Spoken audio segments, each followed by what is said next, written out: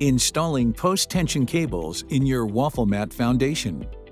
Wafflemat slabs use standard post-tensioning cables to provide the strength needed for single-family, multifamily, and light commercial structures. Our specially designed Wafflebox clips makes it feel like second nature to align the reinforcing steel in your foundation. Simply follow the rows and fit the cables into their specified positions. Notice that the brackets are perfectly sized to accept the cables, making a perfect fit every time. Once the cables have been laid out and cut to size, they are ready to attach to the form board.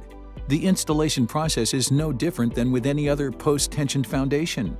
There is no special training or guesswork required with Wafflemat.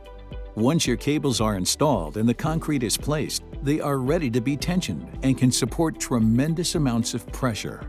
Wafflemat slabs are designed to provide the strongest foundation possible for your project. Your crew will appreciate the simplicity and ease of use, and you will enjoy the time and money saved, improving your bottom line.